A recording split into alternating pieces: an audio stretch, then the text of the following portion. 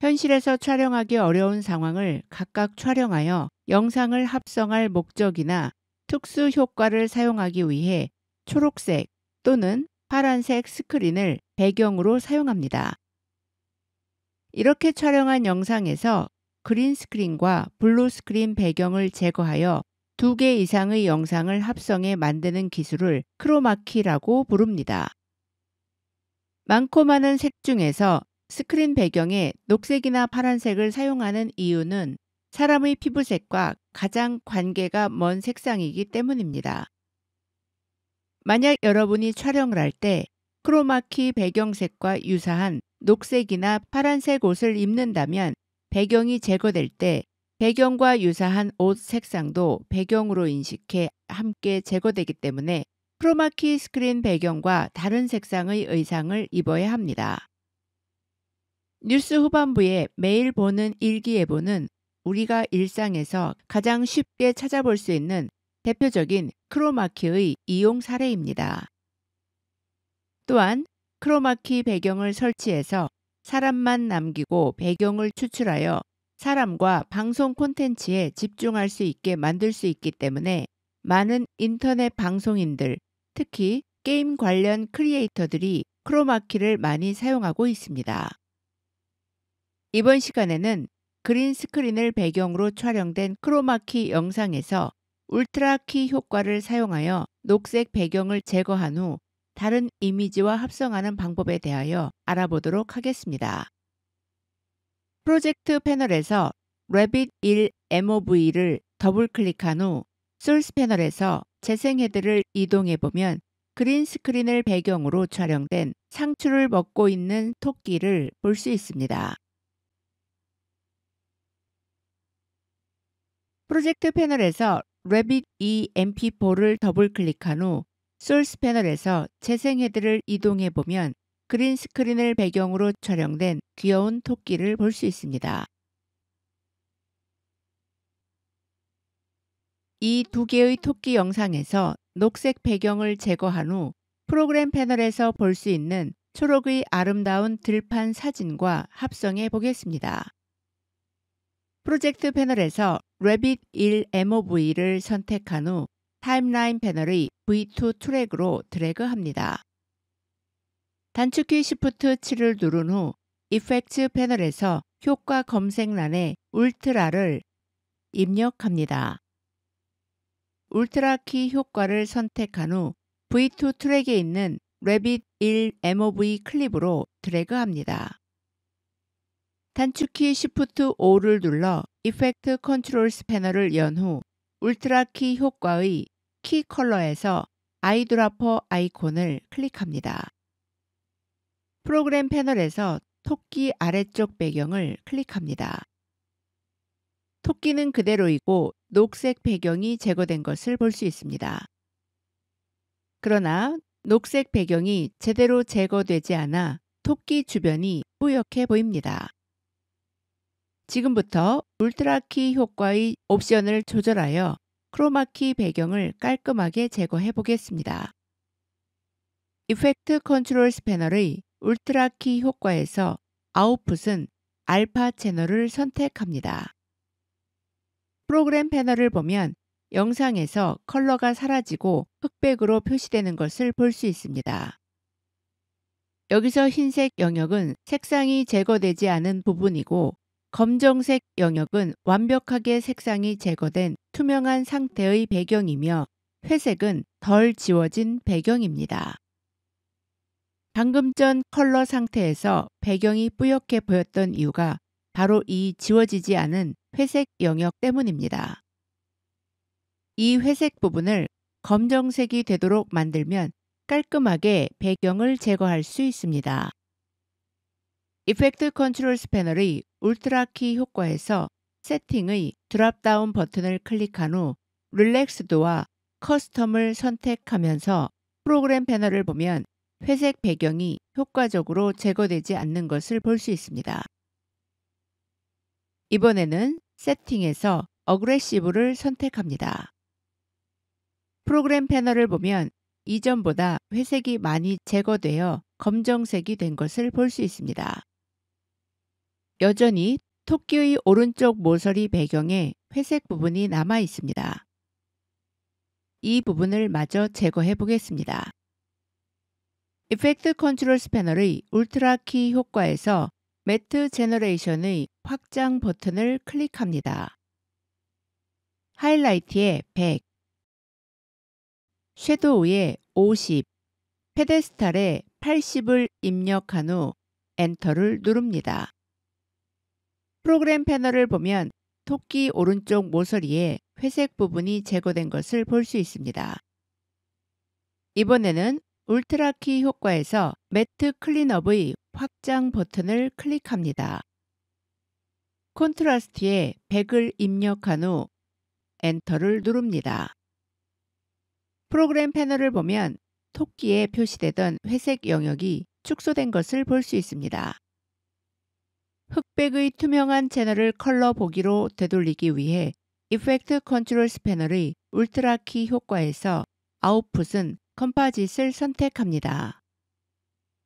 프로그램 패널을 보면 토끼 주변의 뿌연 배경이 제거되었기 때문에 선명한 초록색의 들판 배경을 볼 수 있습니다.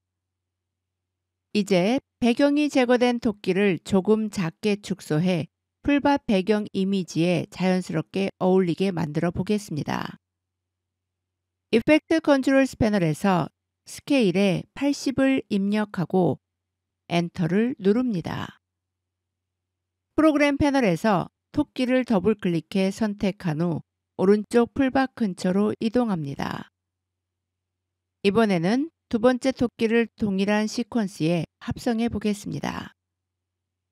단축키 Shift 2를 누른 후 프로젝트 패널에서 Rabbit 2 MP4를 선택하고 타임라인 패널의 V3 트랙으로 드래그합니다. 단축키 Shift 7을 누른 후 Effect 패널에서 Ultra Key를 선택하고 V3 트랙에 있는 Rabbit 2 MP4 클립으로 드래그합니다. Effect Controls 패널의 Key Color에서 Eyedropper 아이콘을 클릭합니다.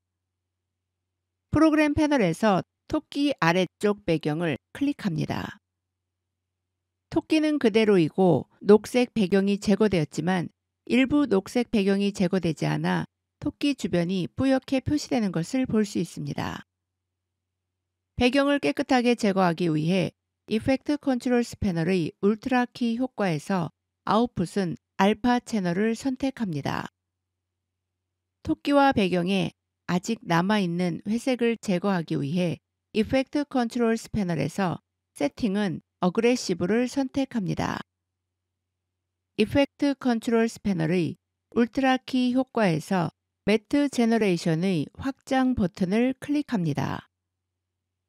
Transparency에 30을 입력한 후 엔터를 누릅니다. 프로그램 패널을 보면 토끼 얼굴과 앞다리 사이에 표시되던 회색 영역이 제거된 것을 볼 수 있습니다.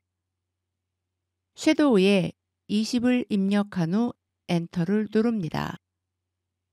프로그램 패널을 보면 배경에 표시되던 회색 영역이 제거되고 투명한 배경을 의미하는 검정색으로 변한 것을 볼 수 있습니다.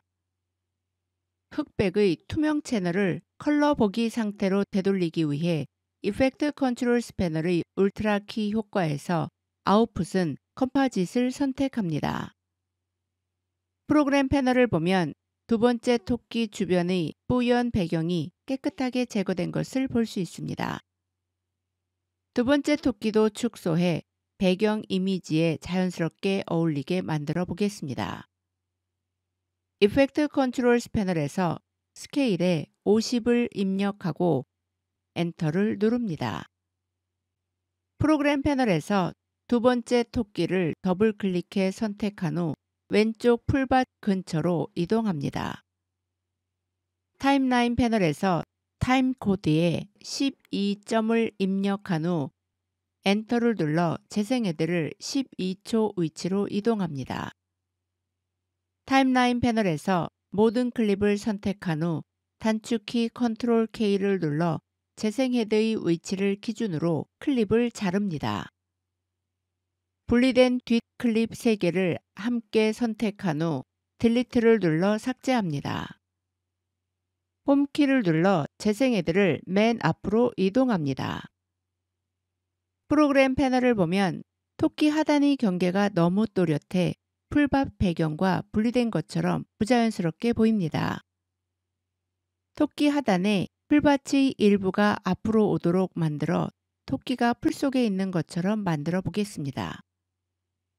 타임라인 패널에서 V1 트랙에 있는 Field JPG 클립을 선택한 후 단축키 Alt를 누른 상태로 V4 트랙으로 드래그해 풀밭 사진을 복제합니다. 타임라인 패널에서 V4 트랙에 있는 복제된 Field JPG 클립을 선택한 후 Effect Controls 패널의 Opacity에서 Free Draw Bezier 아이콘을 클릭합니다. 프로그램 패널의 왼쪽 하단에 클릭하고 드래그하면서 자유로운 형태의 마스크 패스를 그립니다.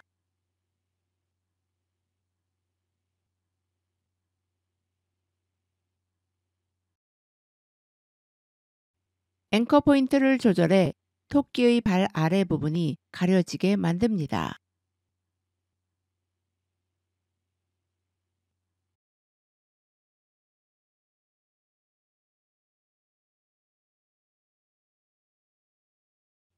Mask Path에서 돌출한 원형의 Mask Feather 아이콘을 드래그해 Mask Path의 경계를 부드럽게 만듭니다.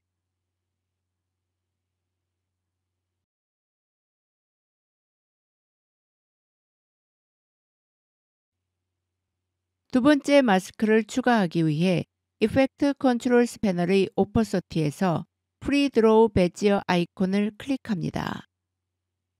프로그램 패널의 오른쪽 하단에 클릭하고 드래그하면서 자유로운 형태의 마스크 패스를 그립니다.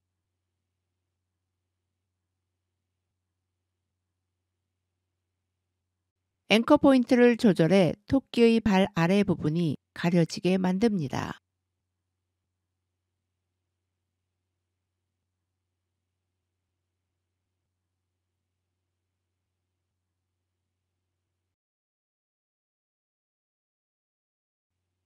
마스크 path에서 돌출한 원형의 마스크 feather 아이콘을 드래그해 마스크 path의 경계를 부드럽게 만듭니다. 타임라인 패널에서 빈 공간을 클릭해 마스크 path의 선택을 해제합니다. 프로그램 패널을 클릭한 후 단축키 tilde를 눌러 확장합니다. home키를 눌러 재생 헤드를 맨 앞으로 이동한 후 스페이스바를 눌러 완성된 시퀀스를 플레이합니다. 푸른 초원을 배경으로 움직이는 두 마리의 토끼를 볼 수 있습니다. 지금까지 green screen을 배경으로 촬영된 크로마키 영상에서 Ultra Key 효과를 사용하여 녹색 배경을 제거한 후 다른 이미지와 합성하는 방법에 대하여 알아보았습니다. 무료 비디오 영상을 다운로드 받을 수 있는 Videezy.com 사이트에서 검색란에 green screen을 입력하고 엔터를 누르면 다양한 주제의 크로마키 영상을 다운로드할 수 있습니다. 여러분들도 마음에 드는 크로마키 영상을 다운로드한 후 green screen 배경을 제거하여 재미있는 합성 영상을 만들어 보시기 바랍니다. 그럼 오늘 강의는 여기서 마치겠습니다. 행복하고 건강한 한 주 보내시기 바랍니다. 그레이스 교수의 프리미어 프로 강좌를 시청해 주셔서 감사합니다. 모든 강좌를 빠짐없이 수강하기 위해 순서대로 다음 비디오를 시청해 주세요. 프리미어 프로를 배우고 마스터하기 위해 구독과 좋아요 버튼을 눌러주세요.